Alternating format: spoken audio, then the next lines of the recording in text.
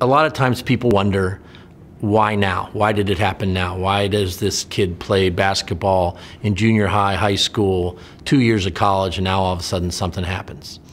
The answer is partly bad luck. The wrong thing happens at the wrong time, starting off a rhythm disturbance, which is now not recoverable.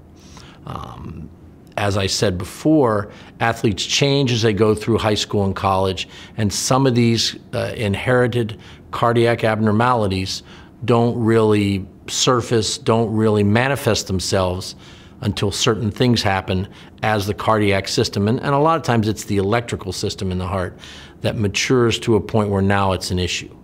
You take a guy like Pete Maravich, who died playing pickup basketball after a long, relatively storied career in high school, college, and the pros.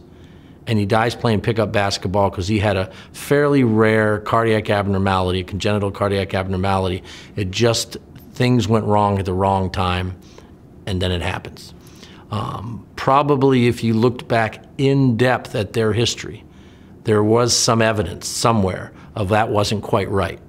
Not that anybody would ever think of it at the time that that was something that needed to be done. And if you went and chased every little thing, you'd have nobody playing anything.